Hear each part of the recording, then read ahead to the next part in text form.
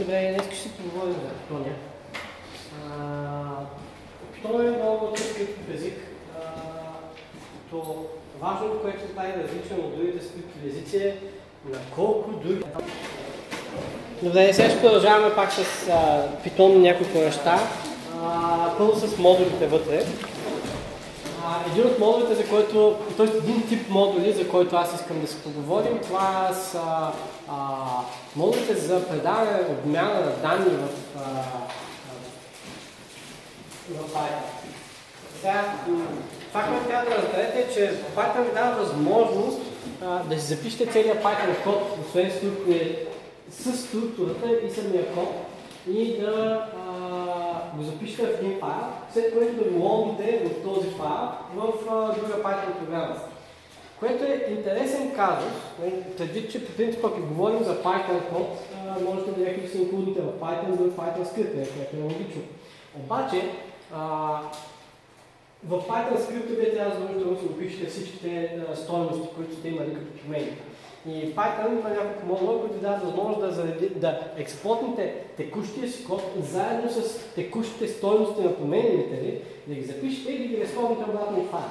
Което е много готино, докато не се усетите, че това използване на тия данни от файла, заедно с evaluation на този файл, става реално, реално code inclusion. И този файл, в който записвате данните, много често се случва да не е много така секюрно, така да ви кажа. А, и има няколко модула, за които тези well че имат проблеми. Marshall е built-in модул на Python, който така реално се записва bytecode принцип в този формат. Обаче този формат никога не е бил смятан за secure и го пише. В документацията го пише, че не е secure. Pickle и C-Pickle също са доста такива разпространени за това нещо. Обаче, така, няма unpickle не, не secure data. Тоест, вие имате функция, с която креатвате дейтата, която ще запишете на диска или ще предадете по нещо и след това имате функцията, която а, взима тази структура от данни и я преправя така, че това нещо да а, изглежда отново като Python код, Python структурки. Така. Това, което трябва да разгледаме, не, това е за много стара версия на Pickle и Python като цяло, но е просто да показва а, какво може да направим, когато зареждаме код, който не сме структури, които не сме сигурни в тях. Ами това тук ще, ще екзекютне OS модула, систем функция, на систем метода а, и от него ще, вътре ще екзекютне едно баща и от това баща ще напише echo all.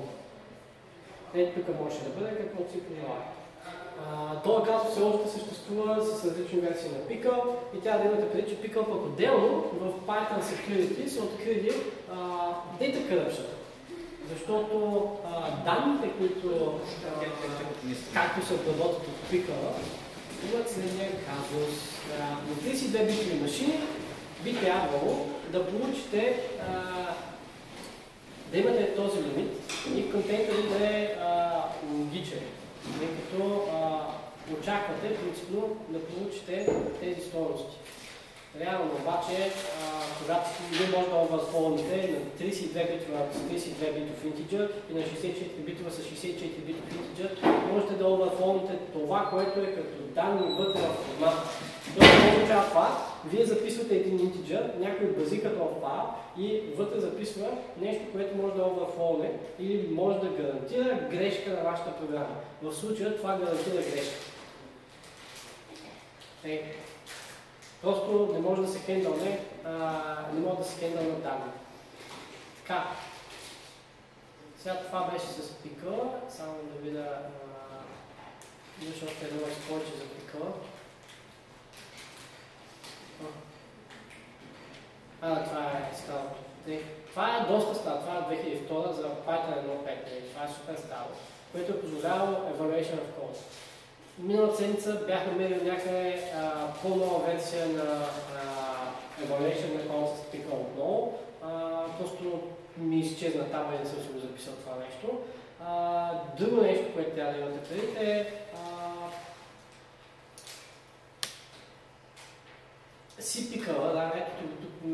този от 2011 година си мисля, C-Pickle има същия проблем като Pickle, само че това е вече за по-нови версии на Python. В 2.6 и в, в 2.7 също го има. C-Pickle просто му казвате дъмпини, т.е. ресторни и тая изключателен е тази структура. Нали, представете, че това тук е структура, която имате в файл. В файл тази структура е това нещо, този клас, който в себе си има subprocess, което е реално execution на отделен процес, т.е. фокус е на Python. И след това правите pull-open, което е друг начин за отваряне за execution в а, Python, при което подавате карта, че искате да екзекютнете shell, искате всичките файлове скриптори да а, си предадете нататък и какво се оказва, че вие си отваряте shell, това е execution на shell, когато се когато се зареди реално нашия файл, нашия файл. Сега трябва да преди, че обикновено това, което се случва е, че просто а, ето тази информация е тук, по някакъв начин е била user supplied data, която е стигнала да се запише вътре в application. Е, тук не говорим за някой е успял да ви, а, по някакъв начин да ви компрометира файловата система, толкова ви е компрометира файловата система, разбрахме, че е много по готин начин, хем да не се вижда, хем да експлойтва абсолютно всеки път, дори да не апълните вашия application. Този, този експлойт е когато не сте валидирали User Supplied Data. Тази User Supplied Data е била използвана с CPickle да, да бъде записана на hard диска, след което тя се зарежда от hard диска, от друг application или същия application и тогава се случва експлойт. Е, това трябва да го разберете, че имате едно към сървъра, две execution на сървъра и три след това вие веждате този shell. Тъй като обикновено хората не слагат BNS hash, обикновено хората изпълняват някакви команди, които им дават remote access на тази машина. И това тук ви е shell кода. така.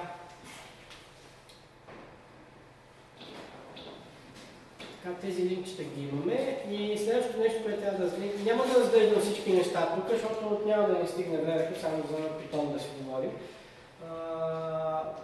Разгледайте си, ако случайно някой се наложи да пишете на Python, разгледайте Python Security. Нали, това е първото нещо, което излиза, когато решите четете за Python Security. Затова аз няма да наблягам много на този сайт, само ще разгледаме и проблемите в source кода, където нека да разгледаме в 2.7 каквото има. Много е странно, сега, е странно, че въпреки, че тези неща са открити, някои от тях все още не са фиксани. Първо, трябва да кажем, че трябва да знаете на съответната версия на това, с който работите, защото, както видяхме, моя е 2711. Обаче, ако на машините ни поради една или друга причина не можем да апдейтнем Python на по-нова версия, вие трябва да знаете, че в тази версия знаем, че е, тук е така дълъг си, има ситуация, в която не проверява return value Връща грешно а, return value. Тоест тук получаваме нещо, което не го проверяваме. И надолу, по принцип, а, има още такива модули в Python интерпретаторите ви, които пише какви проблеми има, какви са открити. Ако случайно въртнете някакъв проблем в секунда, да пътнете и те ще бъдат супер доволни. Просто един пул да кое се на битка. Така. До тук беше с а, тия неща. А, сега. Нека да отидем само секунда да направим този браузър по-малък.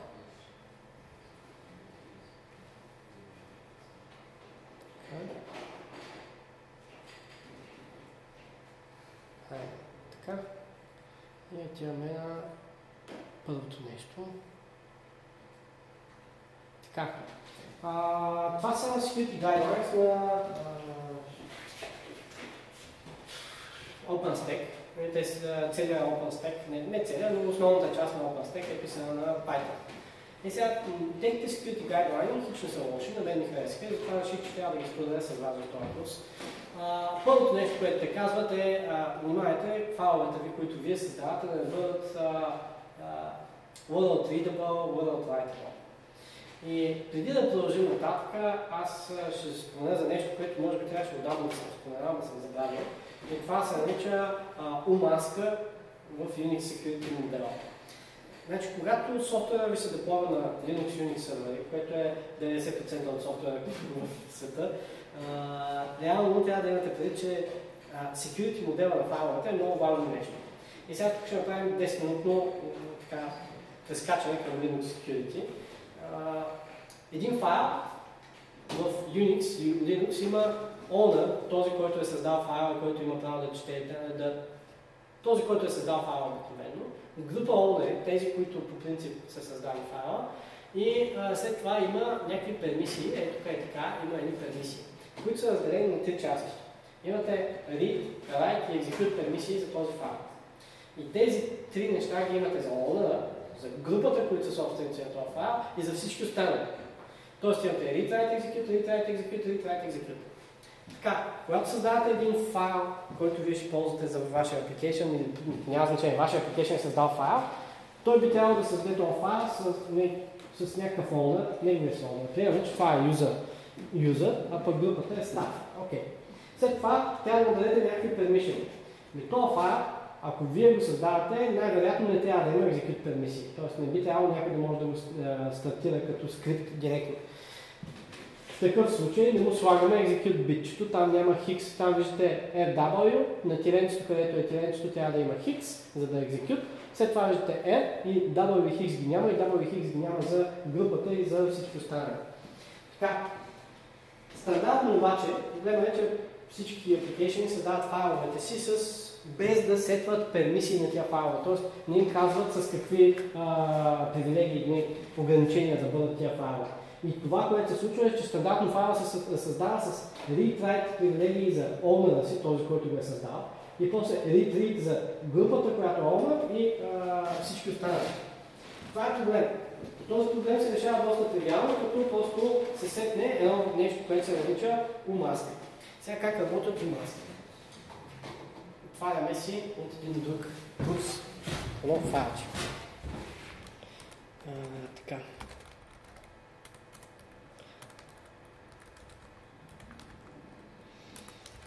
Ето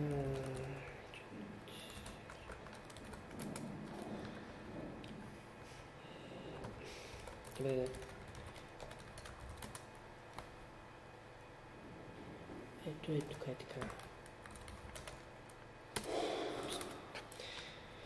Така, каква е идеята на умаската? Идеята на умаската е а, вие да кажете какви ще бъдат максималните пермишени, с които да се създаде файла, на който му асюмвате пермишените. Тоест, ако вие системно, вие не кажете в съответния програмен език, искам да го създам този файл с пермисии read, write, execute, write, execute, write, execute, то това, което вие трябва да...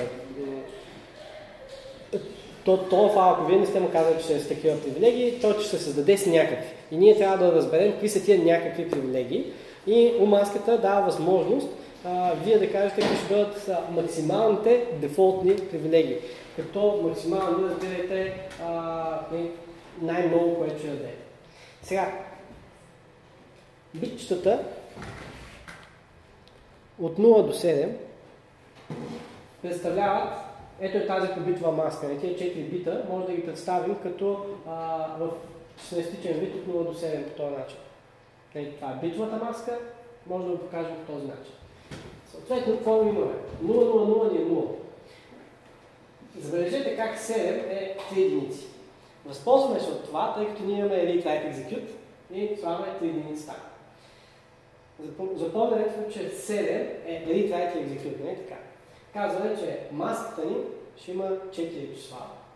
Първото няма да го обяснявам, сега не е важно за вас в момента. Има 3 числа, които са за owner, за групата и за всички останали, с какви привилегии ще бъде това файл. Маската се смята по тривиален начин, принцип. По принцип. А, това ми е основата.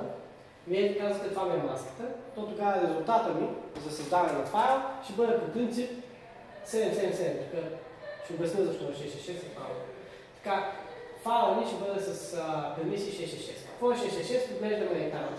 И 6 е на онлайн и групата реално, битчетата са сложени, съответно имаме of the но на, на, на рида и на райта битчетата са дигнати, съответно а, на на екзекюта е 0, съответно този файл с 666 ще бъде read write от owner, read write от а, групата и read write от всички останали. Ако направим тук маската я променим по някакъв начин, като стандартната обикновена маска е 0022. И това, което се случва е, че 7 минус 2 прави 5. Е, ще обясня след малко за числото. 7 минус 2 прави 5, което 5 там какво пише? Имаме първи, първи бит сетнат, втори бит не е сетнат, трети бит е сетнат. Значи имаме read, имаме нямаме write и имаме execute. Това е 5. Съответно, файл, когато го създаваме за първ път с тази маска, ще бъде executable. Сега, за да ви стане малко по-ясно, ще направим едно фолче, тук е така, в Python. Така, в bash командата, с която се сменя маската, се казва маска. For in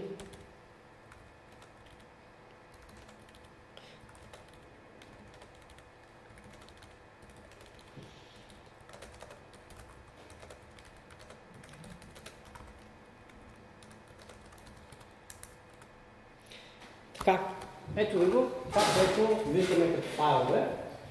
Първия сме усетени с 001 маска, което ни е създало, както виждате, write, read write.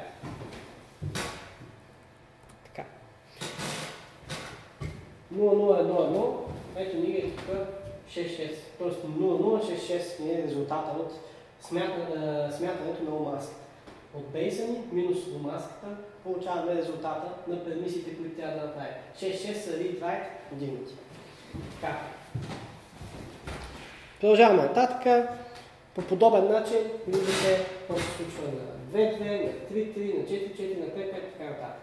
В случая, когато говорим за а, bash, touch командата никога няма да създаде executable файл, без излично да сте казали, че трябва да създаде executable файл. Поради тази причина, ето и тук е така 3-3, което би трябвало да ни го даде uh, executable, не ни го дава executable. 5-5 не ни го дава executable. Разбирате? Тоест това е умаска, връщаме назад на тук е така, умаска, която е била на грешка, значи грешно сметна. Да. А тези, които по принцип ни връщат executable бита, са, виждате, 5, 3 и 1. Е така, там на числото 3 имаме execute бит на а, групата и на всички останали, на едно имаме а, на всички останали, на две имаме, да, и на две имаме а, на групата, и имаме после а, не, а, едно, 3 и 5, както и 7, ни дават execute пермисии. Третия бит е сетнат там. Тоест, където имаме 1, 3, 5 и 7, би трябвало да може да, а, когато създаваме с такива пермисии, би трябвало да виждаме execute флагове. Сега 7 минус 1 прави 6 тук. А, 7 минус, а, минус 3 обаче, защо съм бъркам? Сметките не да разбера. Се получават 7, 2, 5 тук, да, точно е така. Когато масата е 0,2,2, тук би трябвало да стане 5 числото. Обаче, тъй като нашия тъч нали, не позволява да правим executable, го правим до първия най-близък надолу. Съответно, от 5-5 го правим на 4-4 и се получава точно това нещо. Така. От 5-5, където ни е, е при 0-2-2, който е маската, която сложихме, очакваме да имаме файл, който е с пермисии 7, 5, 5. 7 ни даваше read, write, execute и 5 ни дава read и execute. Всичко 6. Обаче тук това нещо ни го свежда до 6-4-4 реално, защото от седмицата е махнал executable bit, от петицата е махнал executable bit и станаха числото. Дето, нека видим с питона как е положението. Uh, umask Това е супер прост скрипт, който ако има един аргумент, ако няма аргумент, създава файл, който се казва netsec 1.junk. Създаването на файл се случва, ако нямаме някакви параметри, е тук е така с open, името на тестовия файл, ts ocreate. Нищо сложно тук.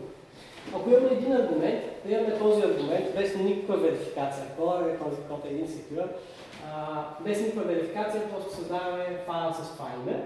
Ако имаме два аргумента обаче, на Open му е подаден трети параметр, който е пермисиите, с които искаме да създаде този файл. И ако имаме а, три аргумента, сетваме умаската на нещо. Сега аз, а, за да не си играя да показвам целият пример, нали, с всичките вариации, просто ще използваме а, варианта с един параметр, за да може да слагаме името на файла и ще сетваме умаската от а, а, bash, така както бяхме направили преди малко. Само, че просто ще направим умаск py-s и така. Това, което се вижда е, че Python, за разлика от Touch, направи всички файлове executable. Така, а, сетнахме маска. Не, забележете първо, че независимо от маската, Python направи всичките ни файлове executable за owner.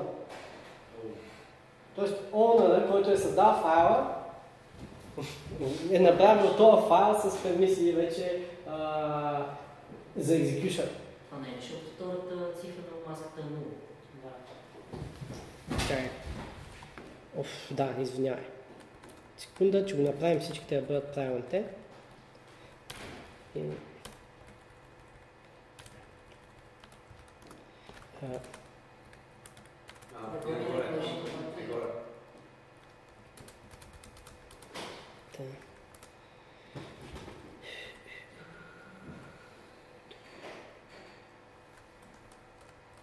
Две, едно, е! Така. Така. Сега. Това нещо при малко, което го показах, а, ще го покажа с, само с един от файловете, който да видите как се прави executable. Python е тук е така, следва маската, така както ние сме го казали. С изключение обаче на казуса, когато mask py, втория вариант, забележете, когато на OS Open, аз му подам някакви параметри за пермисии. Сега забележете какво ще направим. Умаската ми в момента е 077. Нека да направим umask 0222. Така. Сега, Python на 0222 го виждате, че е executable, не е така? Не, нека да го направим 0333. Нека да е 333 маската. И на 333 виждаме, че той не е executable, той е само readable, този файл, не е така? Сега ще направим umask, ще му подадем а, така, само 03332. Така, така ще го кръстим този файл. Обаче ще му дадем пермисии 777. Така. А, А, то няма ли логическа грешка в скрипта, защото той проверява, той винаги ще влиза в първия, при първото слово.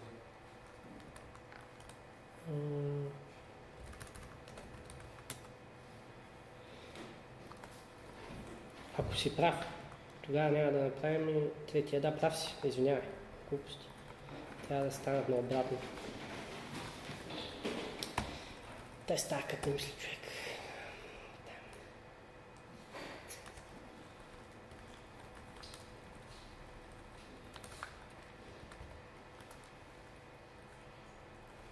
Да.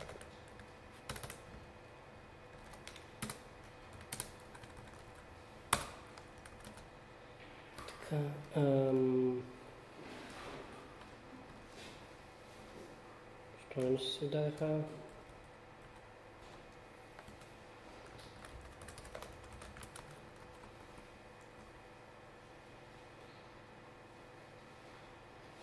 Замучен това. На 14 ред създава тест файл като променливата отгоре.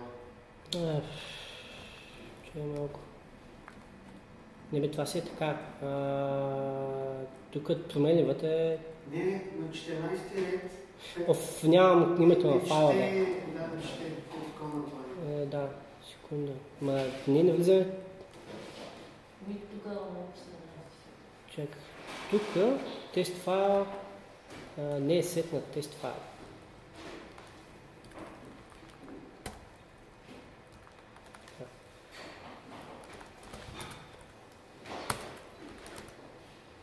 Така. Сега, а, това, което трябва да забележите е, че първо а, този файл има някакви различни пермишени. Сега това тук се случва, защото съм конвъртнал текст към число, което не трябва по този начин. Трябваше да го направя просто с отделни файлчета. CPL маск на N2 файл. Така. И тук е така да има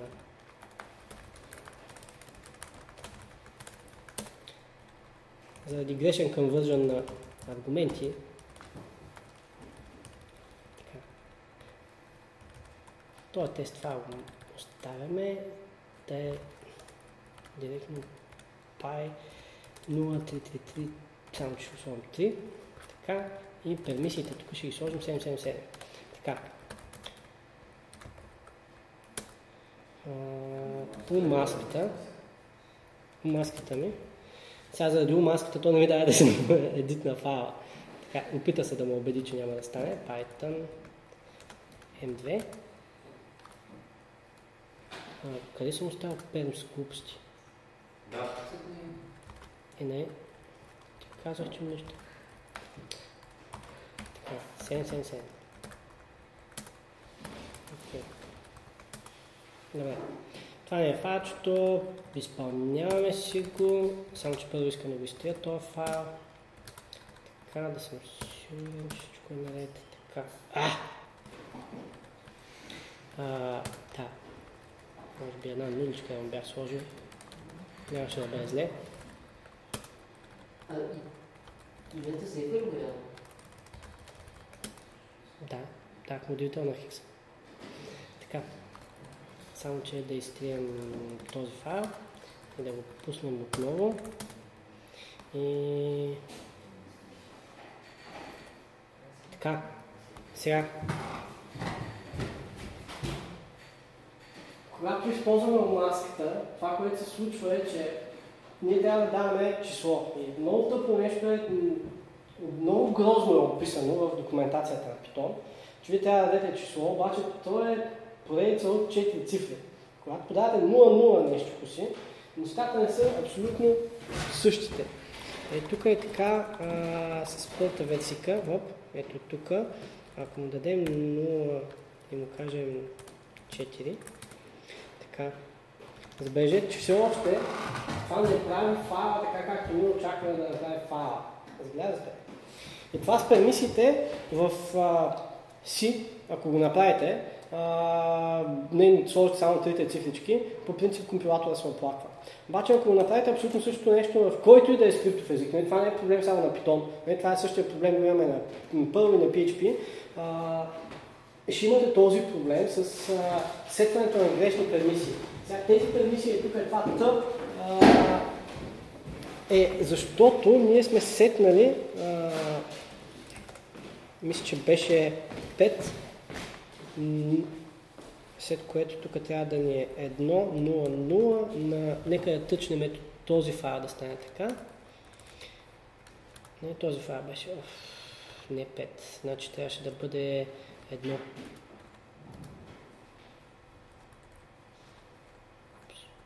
Едно, а...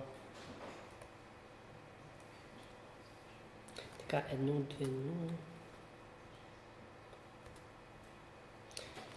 Сега пък отде някой друго файлче ще направим, че мод 1200 само че без на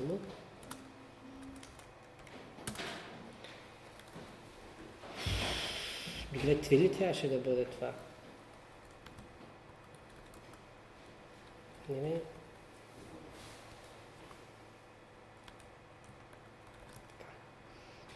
Да. Това да направим read only за owner и да го направим стики бита да му сетнем на файла е пермисии 1400. Ние му подавахме обаче числото 0, 00, а не 077 на скрипта е тук е така, къде си бе? Хоп, 00777. Какво се случи? А, а равно на 0, 777, принта. Ето това се случи. Така, ние конвъртнахме стрингът 0777 на 511. Просто това се случи. Така.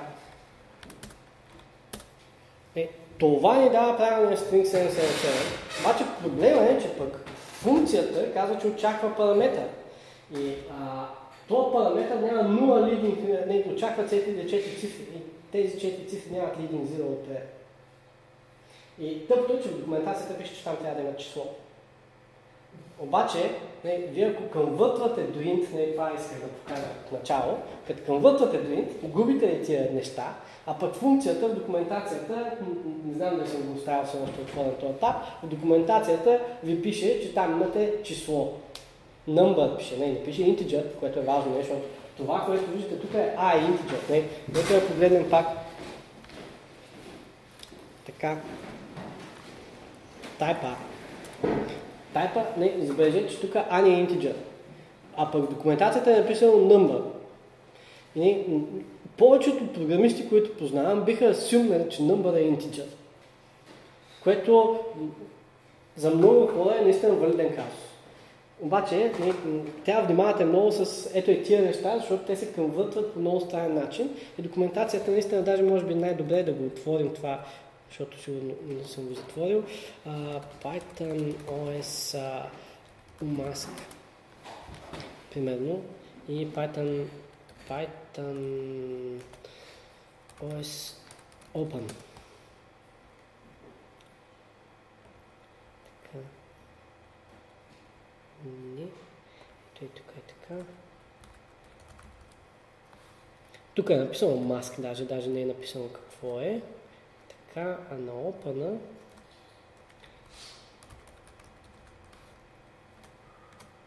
Само да цъкнем така. Flags mode. Така, а! Добре, тук е написано Octal. Добре, къде го намерих, че не го пише?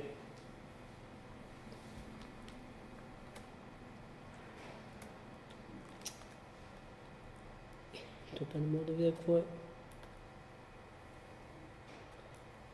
Какво на това нещо?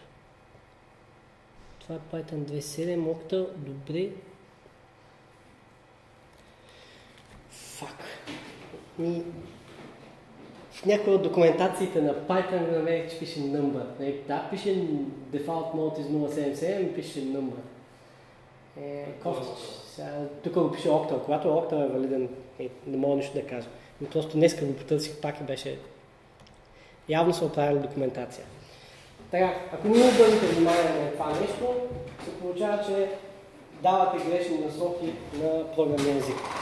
С умаската гарантирате, че файловете ви ще бъдат създадени с правилните пермисии. Да имате преди, че умаската влияе на създаването на директориите, т.е. когато направите умаска, която не сетва executable бита, който е много важен за директорите, т.е. ако направите директория, която няма executable бит, нормален потребител не би следвало да може да влезе вътре в нея. Т.е. CD в директорията не може да се направи. Листване на файлове в тази директория също не може да се направи. Това е идеята на executable бита. Той се води search bit също, когато е в контекста на директория. Като в контекста на директориите трябва винаги да се създава директория, която е searchable. Обаче, вие ако се направите на достатъчно лоши, може да направите наистина директория, която да бъде с грешни пермисии, т.е. да няма search бита дигнат. Executable бит. Така. Продължаваме нататък. А, значи, стека се казваме, внимавайте с пермисиите, слагайте максимално перми, а, рестриктив пермисии. Съгласен съм с тях и затова съм ви линкнал тази част от OpenStack. Следващото нещо е а, да внимавате какво пасвате като а, обекти. Значи, ако нещо го подавате на Eval, логично не искате там да има нещо, което а, да е код, който вие не пипате, а, който вие не сте създали. Или по някакъв начин някой друг може да е създал. Тук искате да имате в Eval и Exec, обикновено искате да имате нещо, което вие сте писали изцяло. Така, а, PyYAML, Pickle и CPickle дават възможност това, което ви казах, да създавате Python обекти, цели обекти, класове с всичките методи и така нататък. И не трябва да ползвате pickle load, pickle loads CPK load, CPK loads и а, тя на YAML да, да използвате safe load, а не а, load.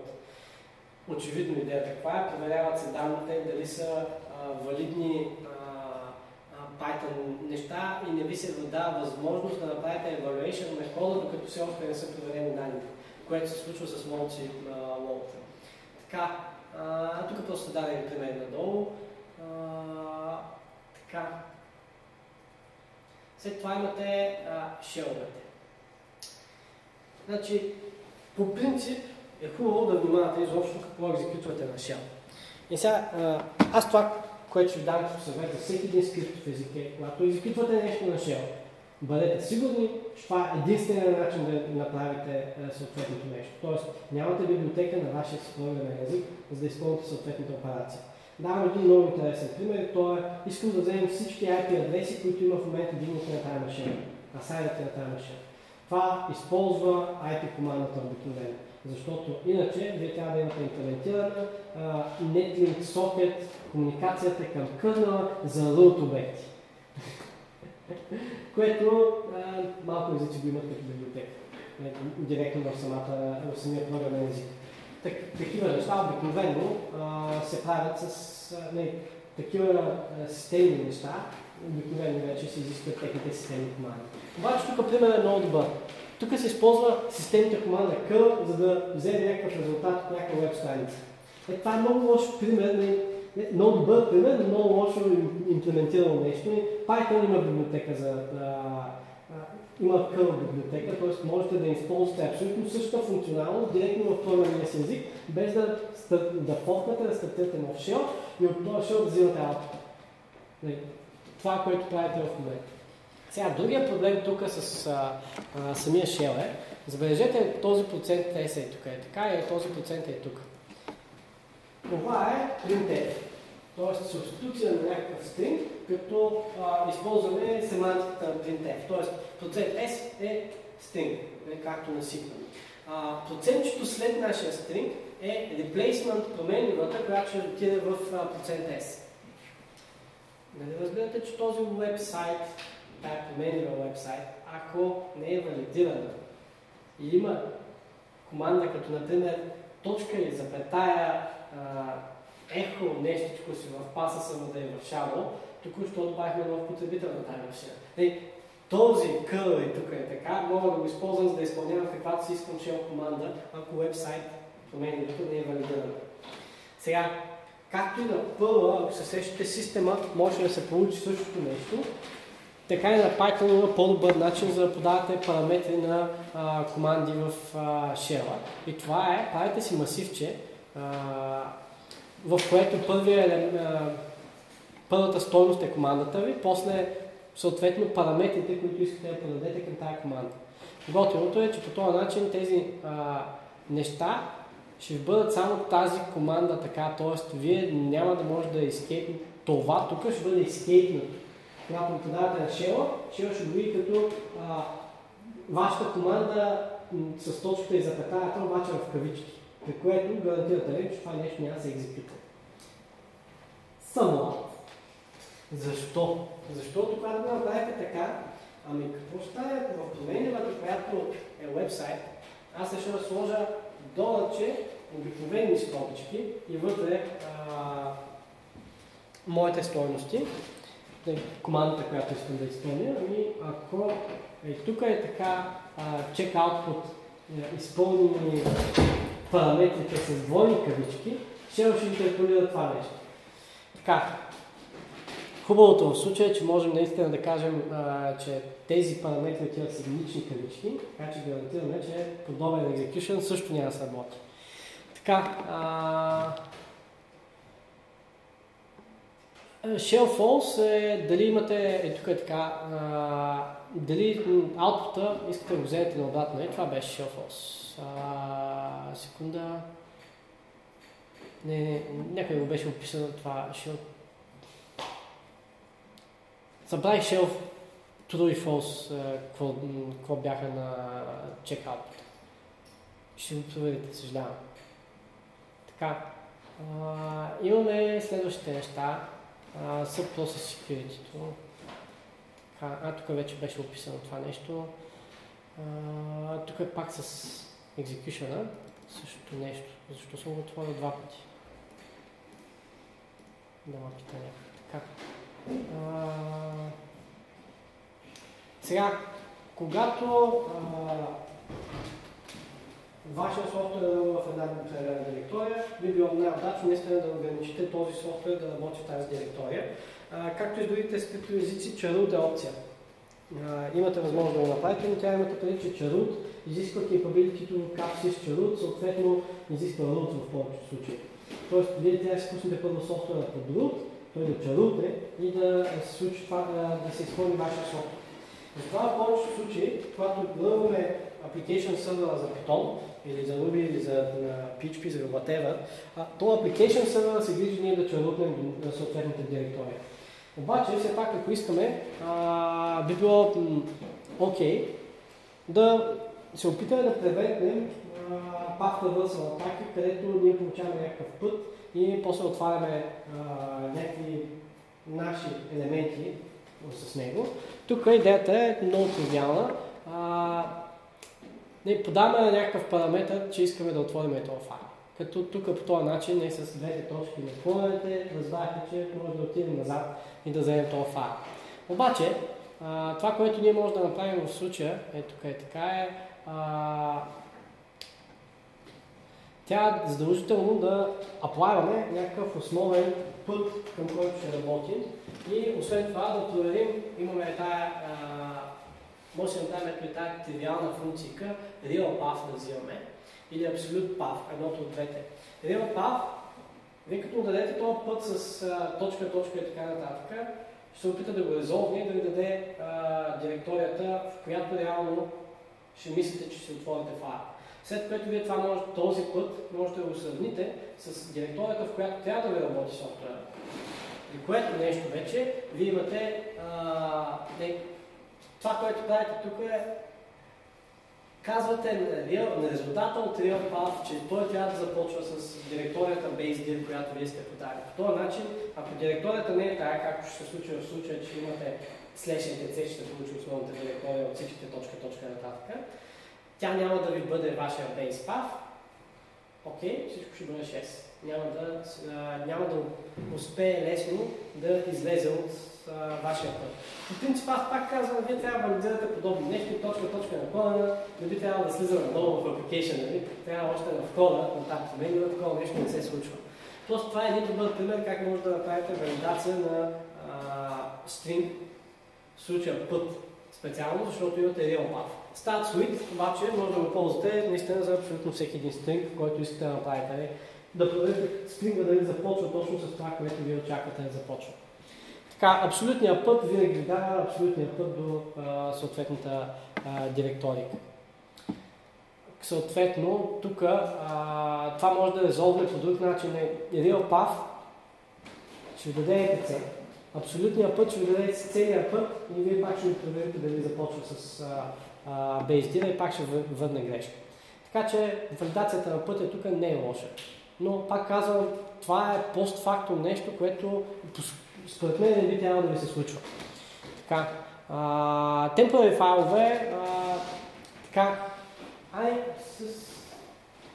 имате, както с баша и с пъл, имате начин да направите читави темплари файлове и а, обаче имате и някои не странни неща, като стандартно нещо. Не, имате библиотеката temp и тя си има функция мъха temp, която е логично да я ползва, защото е нещо стандартно на повечето езици.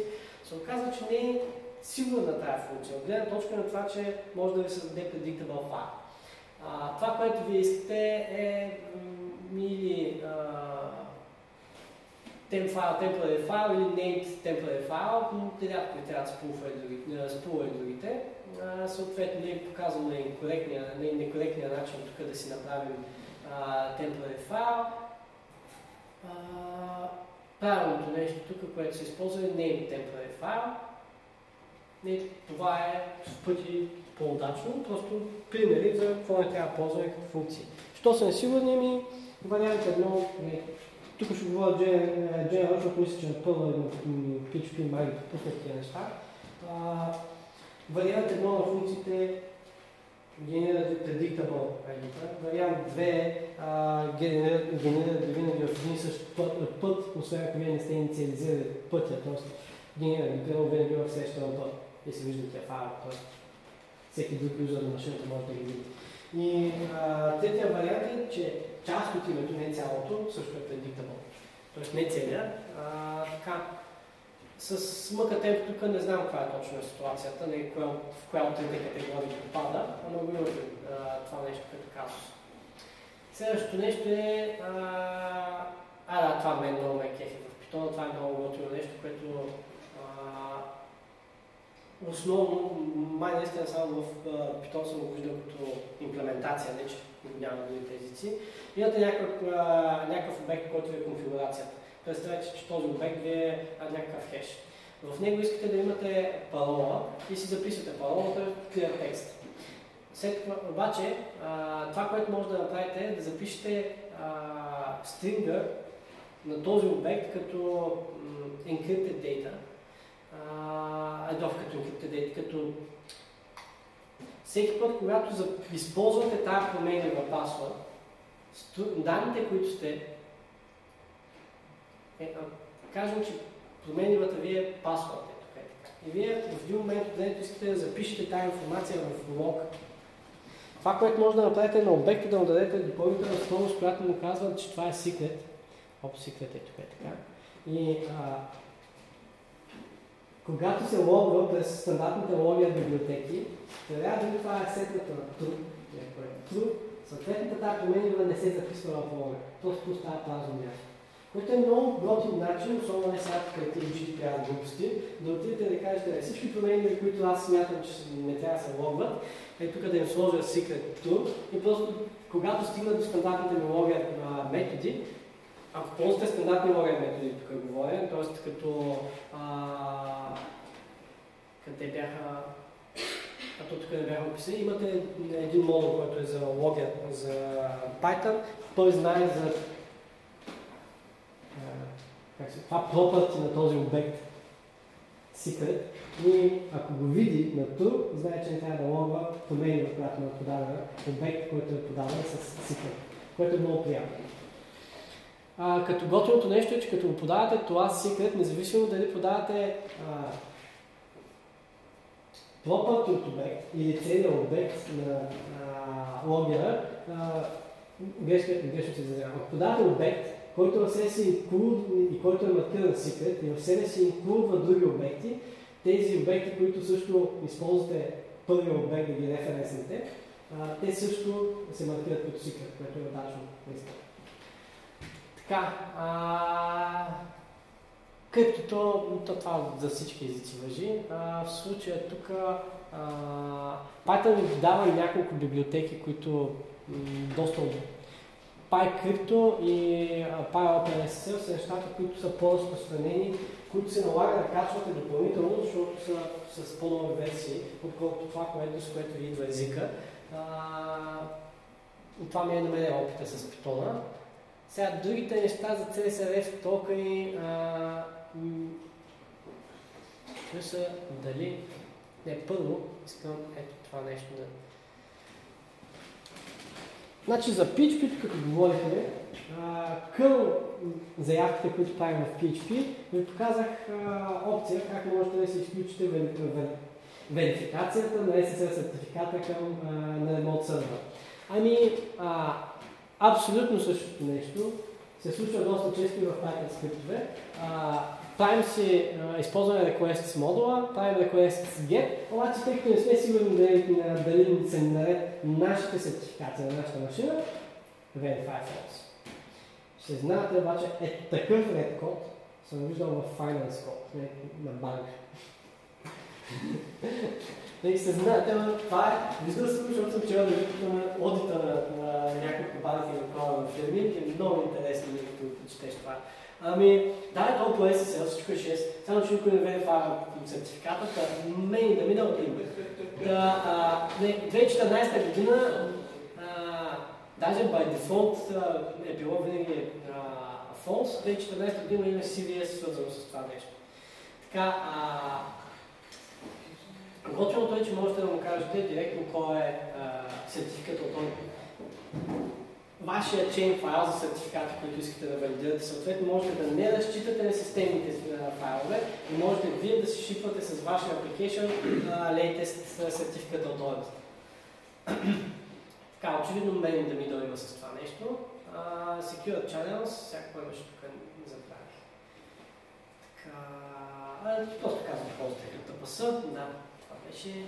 Uh, и за XSS и CSRF Значи за CSRF и за XSS ще имаме поне по час по време лекция по-отделно за всяко едно от тях. Това, което казвам тук просто е а, как да валидирате, как се възползвате от някакви функционалности на а, Python, специално в Java.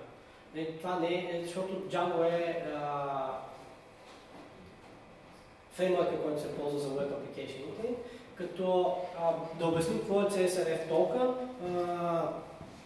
Отваряте една формичка, ето е тази формичка горе. И ако тази формичка а, няма а, някаква информация, която вие сте генерирали само за този request, това, което се случва е, че а, вие не можете да валидирате, че отговора, който получавате на сървъра е бил за точно тази генерация на формичка. При което а, CSRF е а, Cross-Site Request Object. Това, което ще се случи е, че друг таб във вашия браузър изпраща данните през първия таб от името на юзера директно, без изобщо да а, без изобщо юзера да направи каквото и да е. За да нямаме такива проблеми, това, което се случва е, че вие трябва да генерирате нещо, което е динамик вътре за а, тая формичка и обикновено това динамик нещо се случва като сложите а, някакъв хиден обект. Сега обаче това трябва да бъде хиден обект и да е динамично генериран. Защото е тези двете а, неща, а, които се случват е тук, са а, hidden, обаче са статично генерирани. И това, което се случи е в а, Django, можете да му сложите CSRF токен, той генерира пак същото нещо, примерно на малата или какво си. Това тук, тази стойност да я сложите на... А, тя ще бъде сложена на нещо генерирано рандом от сървъра. След това, когато се изпраща тази формичка обратно, ще вземем тази рандом стойност и ще я пратим също към сървъра. Сървъра ще има записан кога е пратил и ако за този request нямаме върнато това, което сървъра ни е пратил, очевидно реквеста е от някои от другите таблове, да няма нашите данни в момента. Разбирате? То е от същото място, обаче не е нашите данни. Може ли да как се справя Facebook с това? Как се какво? Как се справя Facebook с това, защото ми не съм поглеждал, но съвсем нормално е да ползват Content Security Policy, за което ще си говорим също. И ще имаме специално за тия веб атаки, ще имаме следващите три лекции или четири. Е, следващия път ще говорим малко за JavaScript, половината лекция ще е JavaScript, след това започваме с тия веб Така, а, за XSS-а, cross-site scripting атаките, и тук имате тривиалната задача каква е? Get параметър, който подавате, в този get параметър аз си слагам моя JavaScript, който искам да бъде пълнат, вие го взимате това нещо, нищо не се екзекутва на сървъра, само го взимате и го слагате в темплейта, който ще продюснете като HTML код обратно към клиента. Клиента го взима това нещо и го екзекутва. Тоест екзекутва моят JavaScript код. Това е cross-site scripting. Как се случва ми? Аз създавам този линк с get параметрите в него и просто ви карам да кликнете върху линк. Не, толкова просто е. А, случая, това нещо тук е показано точно с printf, не е някакъв string. Взели сме get параметъра и uh, get параметъра name, директно слагаме тук е така, ами тук може да има формичка, може да има JavaScript, може да има много неща. Нали, cross-site. Така, това, което те как го решават този проблем, по принцип има а, в фласка имате изкейпване на параметри. Сега аз не бих му вярвал безрезервно, безрезервно на това нещо. А, честно казвам, бих се опитал да го експортна няколко пъти с различни параметри, преди да му повярвам, защото повечето такива escape а, функции се имат някакви странни дупки. така, по-често е това, което аз ви казах, внимавайте този инпут, който вие поемате, дали чарактерите, които ви очаквате. Е whitelist, всяко едно нещо го взимате директно каквото е след това и не, както беше с SQL injection използвайте prepared statement. Да, и на Python трябва да ползвате prepared statement не съм извадил библиотеката как работи, точно както на, на PHP ви показах, но това е логиката. Пак за SQL injection се защитаваме с prepared statement. Така, ами, това е Питония. Някакви въпроси? изчерпа Добре, ще оправя Python на uname скриптчето, защото имаше малко странности с umaskата, как се сетва и как работи точно на Python. И като го оправя, ще го помня него и ще имате всичко, което си говорихме днес. Това е.